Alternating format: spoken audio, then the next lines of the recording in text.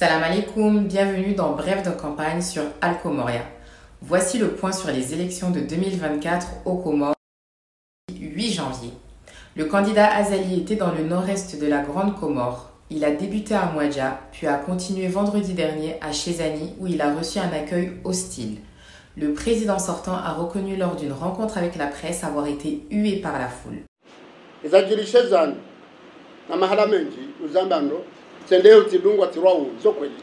Ah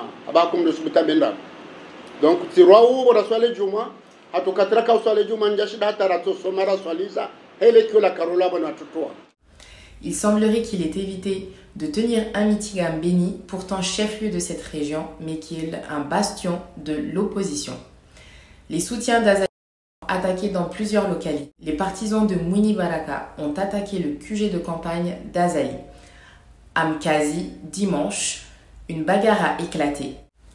On signale également le même type d'incident à Moutsamoudou contre les militants CRC. Avec une telle impopularité dans certaines régions, les opposants se demandent comment Azali pourra-t-il prétendre l'emporter dès le premier tour. À Moéli, les candidats sont en colère au sujet du choix des membres des bureaux de vote. Ils estiment que ceux qui ont participé à la formation des MVB ne sont pas ceux qui ont déposé leur dossier en décembre. Les forces de l'ordre vont intervenir pour contenir la colère des personnes présentes. En se mettant à dos les tauliers de la politique moélienne qui tiennent l'île, Azali est en train de créer un foyer d'instabilité politique sur une île qui était paisible depuis son accession au pouvoir en 2016. Après un début de campagne calme, le candidat Kiki a passé la vitesse supérieure. Il a effectué plusieurs grands meetings à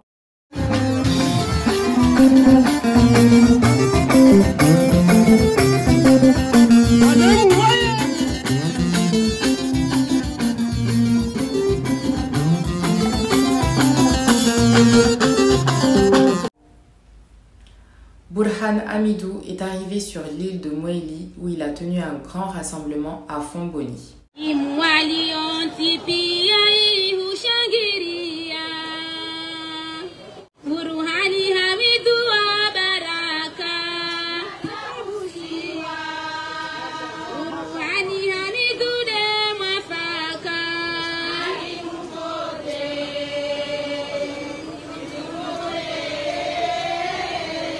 Après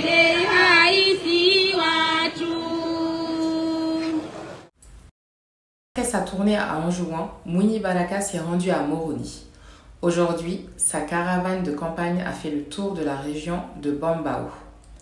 Le candidat Dr Salim Issa du parti Joua était quant à lui dans la région du Wachili.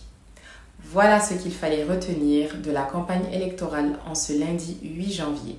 Ne ratez rien de l'actualité des élections 2024 sur votre média Alcomoria. Sur Facebook, TikTok, X et sur notre chaîne YouTube. Vous pouvez également retrouver l'intégralité des informations sur alcomoria.net. À bientôt sur Alcomoria.